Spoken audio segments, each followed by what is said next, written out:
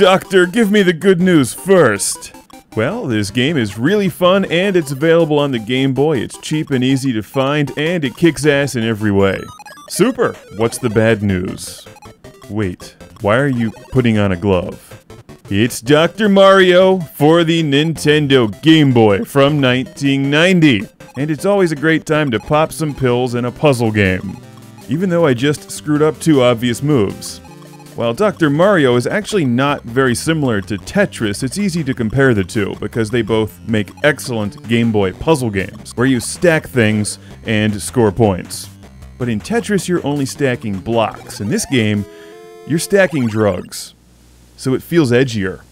And it's the kind of game they would never make anymore, thanks to medical malpractice lawsuits and rising insurance costs. Now, ideally, you want to play Dr. Mario about two or three steps ahead, and you can do that because you always see what he's about to drop next, what pill he's about to drop. The way that you score points in this game is to eliminate viruses, they're the blinking ones. In order to do that, you have to stack four of the same color on top of each other. You do not get points for clearing out non viruses. They just get in the way, so you want to get rid of them. But beware if you turn your game into a cluster, you know what, of a mess. It's a family game. They'll stack up off the top of the screen like Tetris, and it's game over, man. Game over. Gameplay speeds up over time, and there are three different speeds at which you can play Dr. Mario. You get more points if you play on the faster levels. We're just watching the medium speed here. And no, it's not a game I'm very good at. Because I've only recently started playing it, Dr. Mario is timeless. It's it's a lot of fun. And a game I picked up for about 5 bucks. I'm playing it here on my Game Boy Advance SP. And it's uh, it's a great game to take on the go with you if you're just waiting for your meal, trying to fall asleep or waiting for the train, Dr. Mario delivers. This can also be found on the NES, the Nintendo Entertainment System, and the Super Nintendo.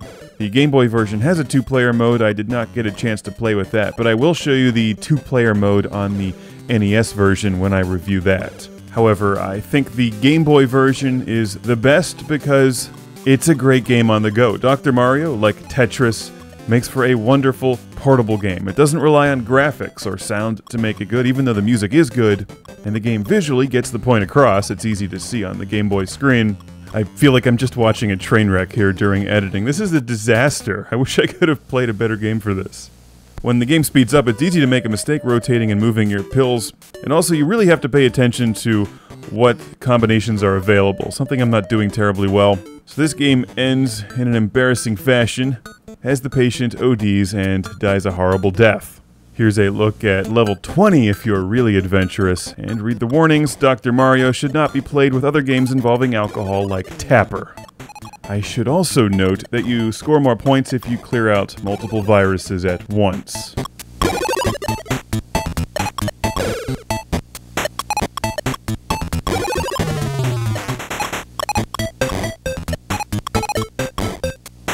Oh god, I've lost another patient. Why am I prescribing elephant tranquilizers for a headache? There should be a Motley Crue branded version of this game called Dr. Feelgood.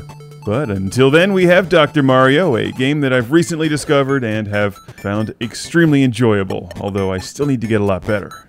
I recommend taking two of these, playing them in stereo, and calling someone else in the morning. It's Dr. Mario on the Nintendo Game Boy.